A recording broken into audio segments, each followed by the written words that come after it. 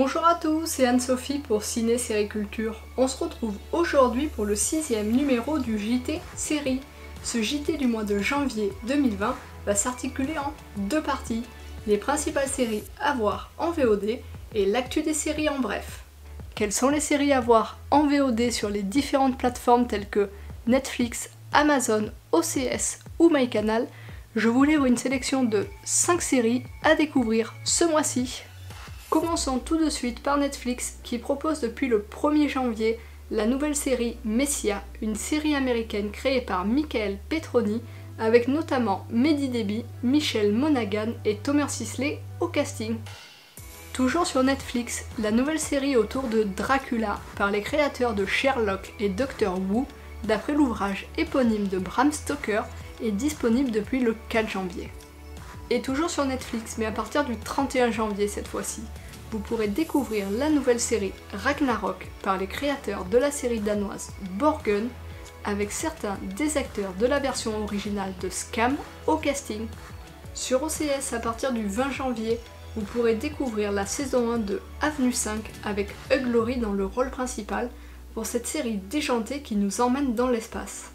Et enfin sur Canal+, à partir du 13 janvier, vous pourrez découvrir la nouvelle création originale The New Pop créée par Paolo Sorrentino avec Jude Law et John Malkovich au casting, qui n'est autre que la suite de The Young Pop diffusée précédemment sur la chaîne cryptée.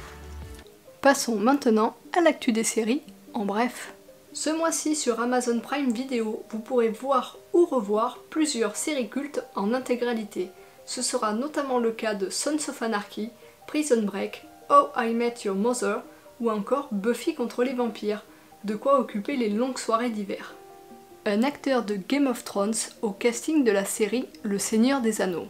En effet, Robert Aramayo, qui interprétait Ned Stark dans les flashbacks lors des dernières saisons de Game of Thrones, reprend le rôle principal laissé vacant après le départ de Will Poulter.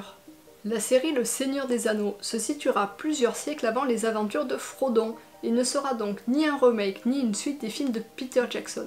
Actuellement en tournage, la série a déjà été renouvelée par Amazon pour une saison 2.